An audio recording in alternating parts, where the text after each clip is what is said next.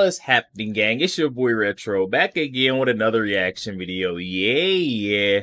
Today we got a huge update coming from Fulton County, Georgia. This went the district attorney, Miss Fani Willis. Guys, things have only been getting worse, and this update is no different, guys. We've got her being hit with something even worse than what's going on with Nathan Wade. And this is coming from Terrence Bradley, Nathan Wade's ex-attorney. He is now testifying on the stand. Previously had him silenced. They had a gag on Mr. Terrence Bradley where he couldn't testify or bring forth any evidence. But now that it's all changing and Miss Fani, you know, her hysterical takes or hysterical actions are not working in court anymore. We got Scott McAfee shutting her up in court live on camera. I'm excited to get into this, you know, and see this exchange with Terrence Bradley spilling it all and Fani Willis so uncomfortable. Guys, we're gonna get straight into the clip and I'll get my thoughts on the back end, guys. So definitely stick around to the end so you guys get my thoughts on the back end. And also so YouTube pushes this video out, definitely stick around until the end. But yo, let's get straight into it. Before we do that though, make sure you guys hit that like button, guys, and also hit that subscribe button as we're on the road to the truth.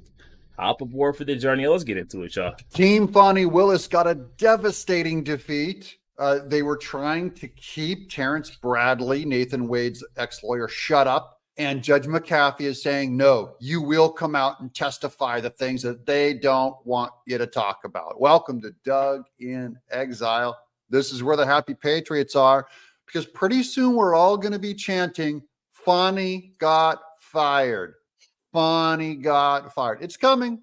But Fani's tactic, it's all falling apart, and they are uh, they've got to be hair on fire, screaming in hysteria this weekend. We're going to find out this afternoon just what he says.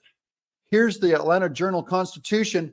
Judge says law partner must testify about Wade's relationship with Willis. I believe it's over at when that happens. A judge has determined that Nathan Wade's former law partner and divorce lawyer must tell the court what he knows about the special prosecutor's relationship with District Attorney Fani Willis. A decision that could produce more bombshell testimony as defense attorneys seek to disqualify the DA from prosecuting the Fulton County election interference case. So you can see now, this is going to undermine the entire case. It's because Fani Willis and Nathan Wade probably perjured themselves. You can't go after Trump if you're one of those types of district attorneys that have no credibility on the stand. Superior Court Judge Scott McAfee's chambers notified attorneys in the case by email late last night that certain communications Terrence Bradley had with Wade are not protected by attorney client privilege, according to numerous people who read the email. Bradley, could be compelled to testify as soon as this afternoon. McAfee's decision followed a closed door meeting between the judge, Bradley, on Monday and mm-hmm. lasted nearly an hour and 20 minutes. That didn't take long, did it?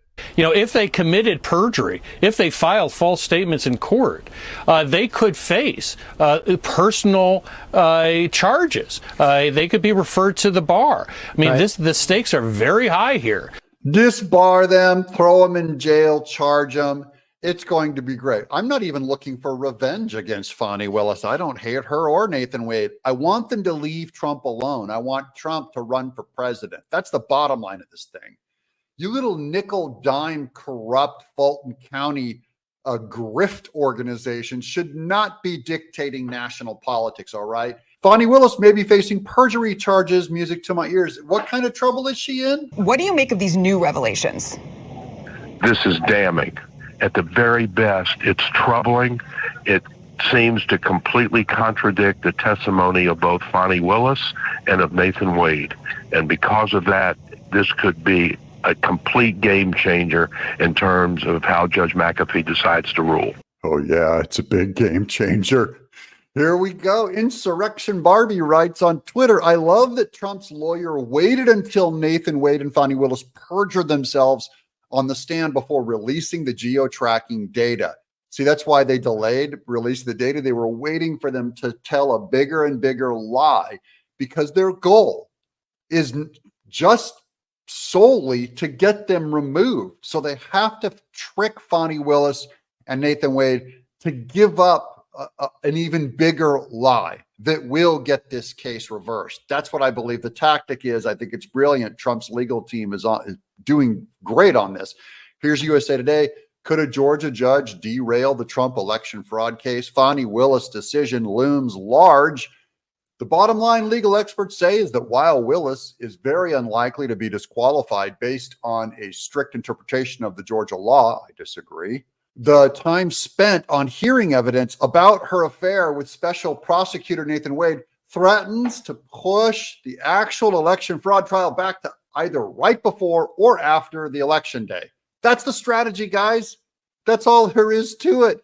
They just in the Trump team which would included Mike Roman, had them go after Fani Willis and Nathan Wade's affair. Just in that distraction, it bought Trump time. See that? It pushed this whole thing.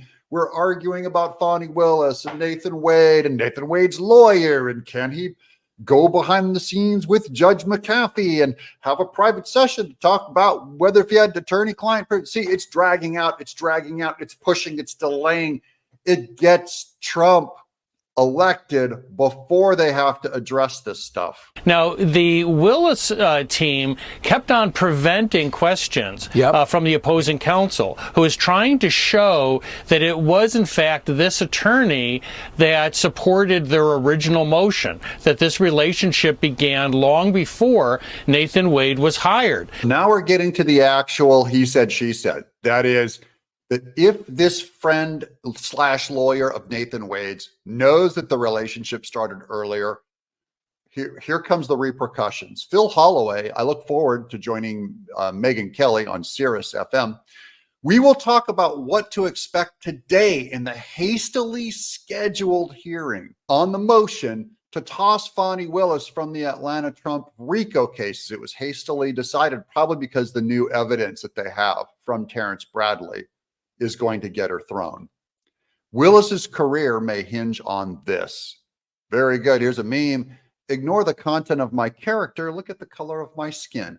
That's all Fani Willis has left now is the color of her skin. Preview. Here's a here's a preview of what to expect from the Fani Willis disqualification hearing at resumes today. But first, why does it matter? Counsel for Trump co defendant Michael Roman says Willis has made the legal process, quote, fundamentally unfair, a due process violation. Let's look at that violation. There's the big legal document. Here's the quick quote The state had an obligation to protect all at all costs the fundamental fairness of the process and to avoid even the appearance of impropriety regarding the state's motives or the district attorney's personal or financial incentives in prosecuting the case. But the state did not do that, did it? So this goes back to living your life beyond reproach. She had to keep her nose pretty clean, and she didn't do that. Over the past several years, the district attorney has done the opposite, using the media to turn the screws on each of the defendants. That's like Jenna Ellis. Long before any trial juror was called to serve, these media appearances by public elected prosecutor are incredibly improper, but more importantly, they were designed to tear down the defendant's pre-trial constitutional protections. Now, whether we're going to finally see those questions answered is something we'll be watching closely today. Uh, but the case seems to be unraveling for Willis and and Wade. Uh, in their testimony, there was a great deal of contradiction, uh, particularly for Mr. Wade. Some of his earlier sworn statements uh, appear to be irreconcilable with, with the facts that he later testified to. That's a nice way of saying that people believe he may have lied uh, under the earlier sworn statements. That's pretty serious because these two are prosecuting people for making false statements and filing false papers with courts because Fani Willis and Nathan Wade made false statements and filed false paperwork, they can't go after Trump for the same thing. It's pretty simple. Uh, real quick. So Bradley's his partner and his divorce attorney. If he comes out and tells the truth that this relationship started earlier, that will corroborate what the former friend said. Oh, here's the former friend that Kilmeade's talking about. American Savage says, quote, the testimony of one witness is enough to prove a fact, unquote. That's Fani Willis's own word. The testimony of one witness can prove a fact. And here's the testimony of one witness. That is Fani Willis's former friend that said the relationship with Nathan Wade and Willis, she said it under oath, started before they said it did because Fani Willis and Nathan Wade perjured themselves. I predict that they will get thrown off the case. The question is, will the whole case get thrown out? That's the only thing left to discover. Yo, there we have it, guys. Coming from our friend Doug in Exile. Definitely be sure to leave that original video link down in the description box below for those of you want to go over there and check that out. I Also, for you guys to go over there and show our friend Doug a bit of love. Oh my goodness, you guys. The walls just continue to close in on that district attorney in Fulton County, Georgia, Miss Fani Willis.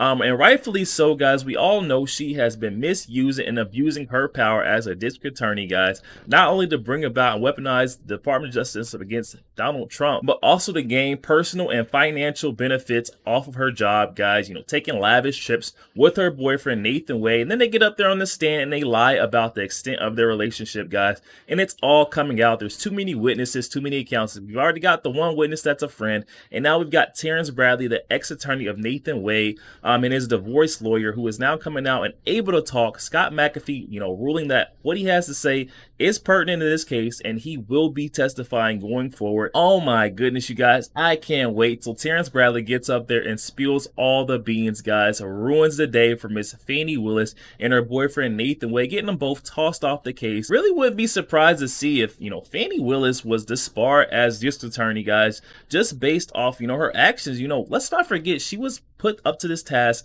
by, you know, a higher power. She was not put up to this task to be abusing her power and doing extra stuff. I believe this was all on her own doing. Um, and they're going to be very upset that she is now foiled and ruined this whole case. This whole case is supposed to tie up Trump's efforts of becoming president later on this year, but it has done the exact opposite. Trump has done nothing but gain historic amounts of you know support. Let's not forget, guys, this is also the mugshot case where Fani Willis drug him down in the Fulton County jail to get his picture taken. That infamous mugshot went triple platinum, guys, bringing about so much support and on-set donations, guys. So like, I mean, this case has done the exact opposite of what she was put in place to do. And now she's a ruining her career also on top of all of it, guys. Really couldn't make these things up if we tried. Fani Willis has done absolutely the most in her position to abuse and misuse her power as the district attorney, guys. Definitely hop in the comment section. Let me know your thoughts. I think we're finally seeing the end of Miss Fani Willis's reign over Fulton County, Georgia, and the terror she's been having on those folks, guys. Definitely hop in the comment section. Let me know your thoughts. Also, make sure you guys hit that share button and share this to as many Facebook friends as possible. Also, make sure you guys hit that like button, guys. Does not cost a thing. Hit that like button for your boy. And also hit that subscribe button, guys. We're on the road to the truth. Hop aboard for the journey. I'll catch you guys on the next one week. Yo, what's happening, Retro fam? Are you guys looking for a way to connect with your boy Retro and the Retro fam on a day-to-day -day basis?